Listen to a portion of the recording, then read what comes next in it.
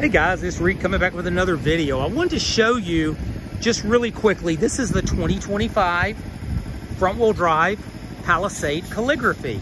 It's the newest version of the Palisade. Beautiful black with the uh, tan interior. And I have a customer that just traded in their 2022 Calligraphy, which is the first year of the Calligraphy trim. And I just wanted to show you the, the difference in the vehicles. Uh, this is a short video. I'm going to do a a little more detailed video before they come out of finance on that one there.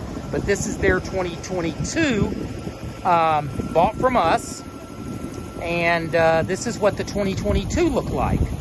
So there's been some changes, obviously, through the years. So this is uh, three years of difference. So uh, 22 versus uh, 25. So they just upgraded. But uh, I will, I'm just showing the body right now.